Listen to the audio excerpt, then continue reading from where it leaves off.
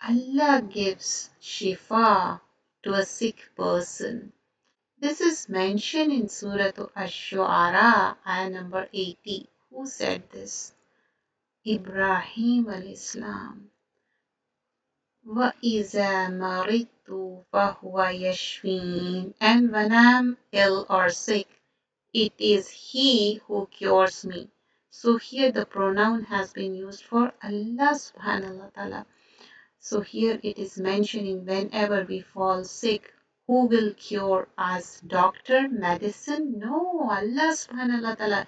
We adopt the means, but who cures us? Only Allah. Allah is Shafi. Allah gives Shifa.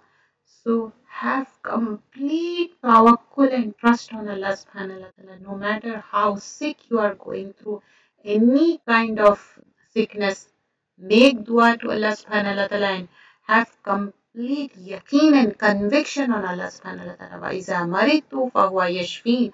Allah will cure you. Jazakallah khairan kaseera. Do subscribe the channel please. Channel name is Ilm Quran for all Bayan. Bayans are in English and Urdu. Playlists are there and you can connect with live classes. Jazakallah khairan kaseera.